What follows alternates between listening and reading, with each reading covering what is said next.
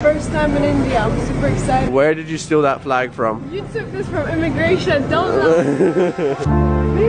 Woo! We're here, bro! We made it! As I told you, we are here to try and help out as much as we can. So we're literally getting out of the airplane and the first place we're going to is UNICEF. Now, I'm sure most of you know UNICEF. It's a big charity organization. So let's do this.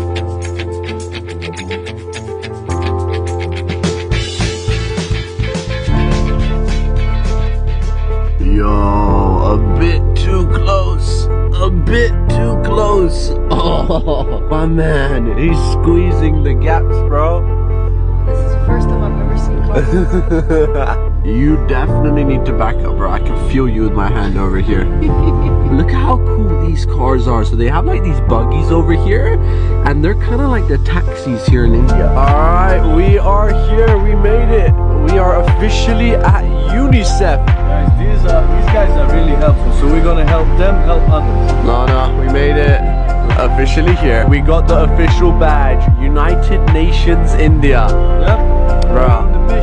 On. Bro, by the way, we hit 6 million subscribers. Ah, yes. I don't know exactly what's happening, but yeah, we'll go inside and figure everything out. So right now we just made it into the UNICEF offices as you can see boys. We're gonna try our best to help out in a couple of ways. Now obviously the first way is I'm gonna leave a link in the description for donations. But more importantly, they've just told us the main thing we can do as of right now is we can give some information out there make sure if you are drinking water, do not go to the normal wells which you drink from. Make sure the government has come and cleaned them out with chlorine. Generally, the water should be colorless, tasteless, odorless. This is very important. Make sure it's chlorinated. Those are the main points. As I said, I'll also leave a link in the description. If you guys can help out, no matter what it is, it will be helpful. And yeah, Hi Mo, Lana and Segin. Thank you for raising awareness. You can see the situation here. I am at Nedumudi village in Alleppey district. More than 1 million people have been displaced. 370 people have died so far. More than 250,000 children are in the relief camp and they will miss their schools for many more days.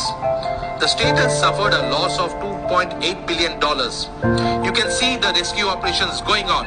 It may continue for a couple of more days. For now, we're gonna head out of here and try to keep things moving, and we'll keep you up to date. Meeting officially done. Woo! So there you go. That was our first stop of the day over at UNICEF. So you guys listen, just what we just heard from these guys, we just try to convey it to you. Make sure you stay healthy because now is the time where people are listening. But in a week or two when the news are just dying out, don't forget people still will need help. There's literally buildings falling down. So now that we're done in our meeting, I just want to say I actually really love India. Like Delhi is such a beautiful place. And the weather is beautiful. Whoa! Look at the buildings over here.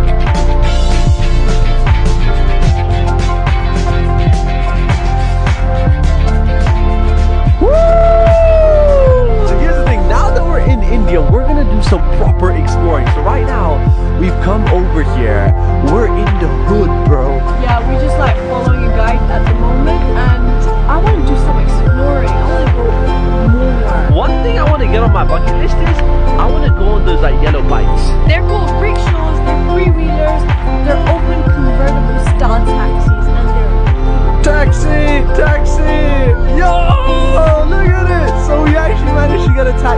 Now. Yo, Saiki, bro, we got you a taxi. Let's do this. Yo, Saiki's gonna hang. We're gonna hang too, bro. Both of them. Woo! Saiki's hanging on for dear life. oh my god, we're going on a taxi. Saikin is hanging on the side. Welcome to India. No space. It's called taxi surfing. This is way harder than it Be looks. careful, you don't hit the car. yeah. I'm you're- hanging out of a taxi right now. Oh my god, my brother is like Alright guys, peace out. Woo! Yeah, yeah. Bro, what is wrong with you? Whoa! Oh my god. Kiki, do you love me? Are you riding? I'm legit hanging out of a taxi. Can't be wrong. Just subscribe and stay tuned because we're just getting started in India. Vlog is over. Boom.